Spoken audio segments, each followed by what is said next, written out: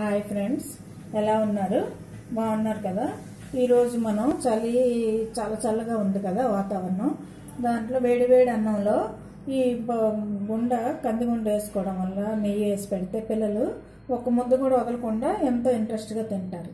అందుకోసం మీకు ఈరోజు ఈ కందిగుండ పొడి శీతాకాలంలో ఎలా ఉంటుందో అని చెప్తున్నాను. దీనికి కావలసిన పదార్థాలు కందిపప్పు నేను ఒక కప్పు తీసుకున్నాను. ఒక చిన్న కప్పు పావు కప్పులాగా శనగపప్పు పావు కప్పు మినపప్పు ఇంకా టేబుల్ స్పూన్ అంత పెసరపప్పు. జీలకర్ర కూడా టేబుల్ స్పూన్ అంత. దీంట్లో ఇంపార్టెంట్గా వేయవలసింది ఏంటంటే సొంటి. సొంటి ఒక రెండు అంగుళాలంత సొంటిని కొంచెం చెదగొట్టుకోండి. లేకపోతే మిక్సీలో గట్టిగా అయిపోతుంది పెరుగుతుంది కదా. ఇలాగా కొంచెం చెదగొట్టుకుంటే రెండు అంగుళాలంత సొంటి తర్వాత సాల్ట్ ఎండుమిర్చి ఒక పది వరకు కారం బట్టి చూసుకోండి. సాల్ట్ టేస్ట్ తగినంత. ఇవన్నీ కావలసిన పదార్థాలు. ఇప్పుడు మనం ఒక్కొక్కటి గోల్డెన్ బ్రౌన్ వచ్చే వరకు వేయించుకోవాలి. వేయించుకుందాం. పొయ్యి ఆన్ చేసుకున్నాం ఆన్ చేసుకొని ఇదిగోండి ఇలాగా కలర్ పెట్టుకొని వేడెక్కుతుంది. దీంట్లో మనం తీసుకున్న పది ఎండుమిర్చి వేయండి. ఒక రెండు నిమిషాలు వేయిద్దాం. మిరపకాయలు వేగుతున్నప్పుడు ఇందులో సొంటి కూడా వేయండి.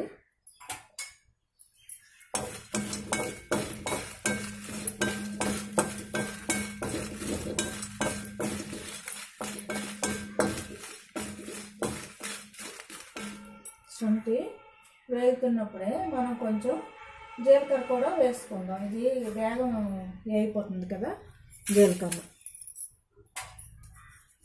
ఎండుమిర్చి శొంఠి జీలకర్ర.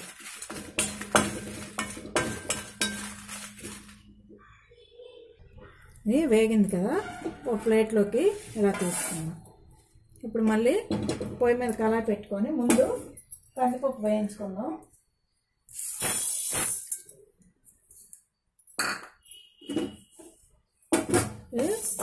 గోల్డెన్ బ్రౌన్ వచ్చే వరకు వేయిద్దాం.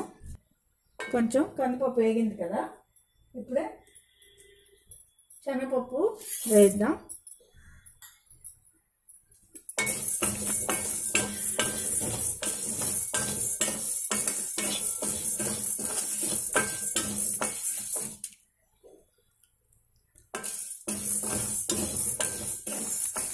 ఈ రెండు బాగా వేగాయి. వేగి ఈ రెండు పక్కకి తీసుకుందాం.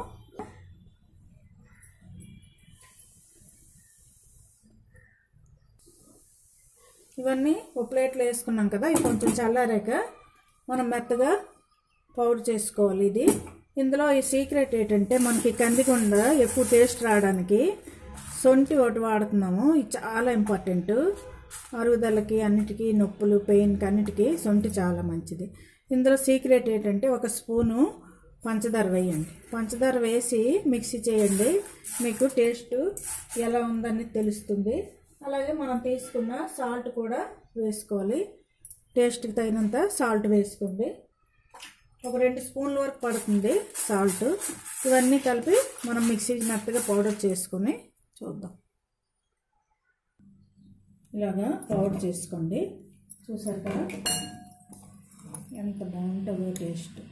ఇలాగా చిన్న గరుగ్గా ఉండాలి. మరి మెత్తగా పౌడర్ చేయకండి. గరుగ్గా ఉంటేనే అన్నంలోనే టేస్ట్గా ఉంటుంది. ఇది కొంచెం సాల్ట్ చూసుకుందాం.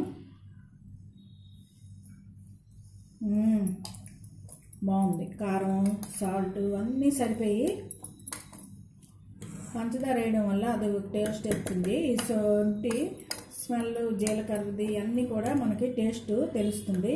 మీరు కూడా ఇలా చేసుకొని ఈ శీతాకాలంలో ఏవి తినబుద్ధి అయినప్పుడు ఇలాంటి పౌడర్లు చేసుకొని ఆయిల్ వేసుకొని లేకపోతే పిల్లలకి పెద్దవాళ్ళైనా నెయ్యి ఏంటంటే అది వేసుకోవచ్చు ఇది ఇలా చేసుకొని చాలా ఎక్కువ మనం అర కేజీ ముప్పావు కేజీ కేజీ వరకు కూడా చేసుకున్నా గాలి చొరవకుండా ఉన్న డబ్బాలో వేసాం అనుకోండి ఐదారు నెలలు కూడా ఉంటుంది బయట. ఎక్కడ ఫ్రిడ్జ్లోనే ఫ్రిడ్జ్లో నీటిలో పెట్టక్కర్లేదు. స్మెల్ అంతా అలాగే ఉంటుంది. మనం వాడేటప్పుడు కొంచెం తీసుకొని వెంటనే మూత పెట్టుకుంటే చాలా బాగుంటుంది. చూసారా? నేను అంతా కలిపి ఇలా చేశాను. ఎంత బాగుందో.